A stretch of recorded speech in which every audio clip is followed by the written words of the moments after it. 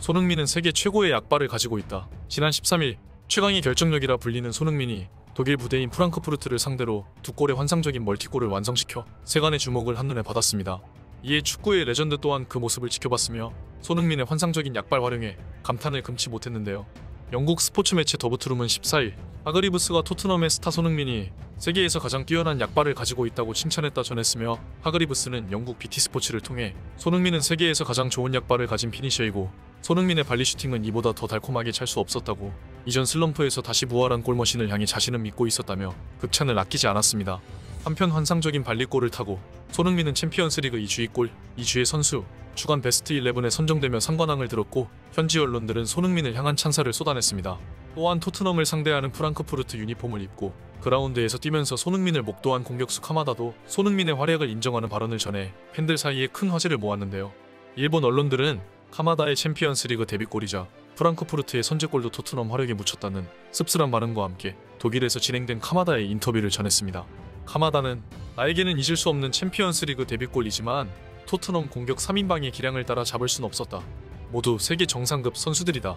기량 차이를 확실히 느꼈다 평하며 자신의 부족함을 인정하였고 일본 네티즌들은 이에 분하지만 아시아 넘버원 손흥민을 따라가기에는 아직 카마다도 멀었다 이야기하며 세계 정상 공격수인 손흥민과의 차이를 겸허히 받아들였습니다. 그러나 경기 이후 토트넘의 주장이자 골대를 지키는 요리스가 토트넘 후스퍼 선수들에게 경종을 울렸습니다.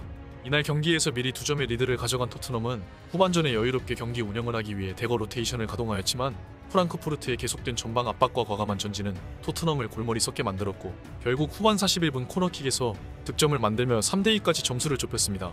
경기 종료 휘슬과 함께 콘테와 모든 해외 팬들은 물론 선수들마저 가슴을 쓸어내릴 수밖에 없던 상황이 발생하자 요리스는 결국 주장으로서 선수들에게 쓴소리를 꺼낼 수밖에 없었는데요. 영국 매체 Evening Standard에 등장한 요리스는 약간의 화를 참으며 우린 후반의 경기를 더 잘 통제해야 했다.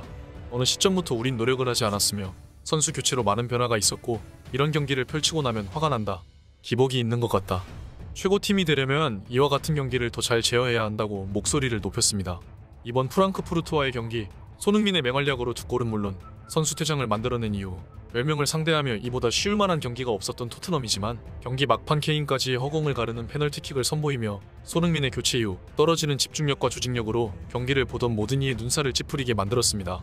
한편 이러한 사건의 발단이 결국 콘테의 교체 기용에서부터 시작되었다는 해외 누리꾼들의 이야기와 함께 손흥민조차 벤치에 앉아 자신이 없는 토트넘의 안타까운 경기력을 지켜볼 수밖에 없었는데요.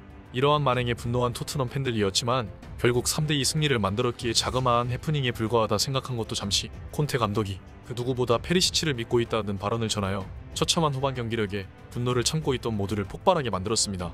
이탈리아 매체에 스카이 이탈리아에서 콘테 감독은 최근 떨어진 페리시치의 경기력에 대해 페리시치는 심각한 종아리 부상을 앓은 채 토트넘 홋스퍼에 입단했다.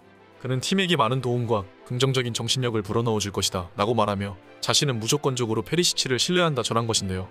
페리시치는 이번 여름 이적 시장 토트넘의 첫 영입작이었으며 인터밀란에서 콘테 감독의 지도를 받았던 경험이 있기에 페리시치의 이적에는 콘테 감독의 영향이 컸던 것으로 전해졌습니다.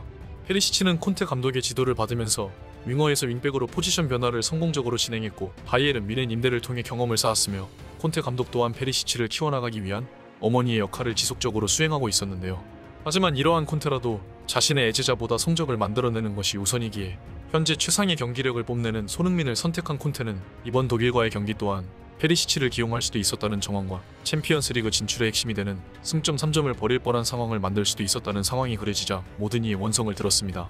한편 이러한 콘테의 행동에 좌불안석 토트넘 경기를 지켜봐야 하는 것은 팬들뿐 아니라 손흥민도 마찬가지였는데요. 경기 막판 해당 장면을 현장에서 지켜본 팬들은 콘테의 교체 사인과 함께 모우라가 몸을 풀었고 우리는 손흥민이 들어올 것이라는 것을 예감했다. 물론 두 점 차로 리드했고 상대는 10명 이었기에 걱정되지는 않았지만 모든 선수가 들어간 이후 생각이 바뀌게 되었다. 라고 전하였고 옆에서 손흥민을 지켜보던 토트넘 관계자들 또한 손흥민은 경기 막판 헤트트릭을 완성하지 못했음에도 콘테의 교체 사인에 큰 불만을 가지지 않았다. 하지만 이후 다른 이들의 경기력에는 두 눈을 찔끔 감았고 콘테의 선수 교체 투입이 원망스러운 듯 그를 회피했다. 라고 회상하며 냉정 같은 당시 상황을 전했습니다.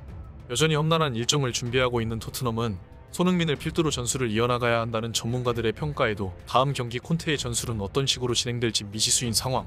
손흥민의 숨통이 조금이라도 트인 지금 콘테의 횡포가 끝나길 바라며 영상 마치겠습니다. 반전남이었습니다. 감사합니다.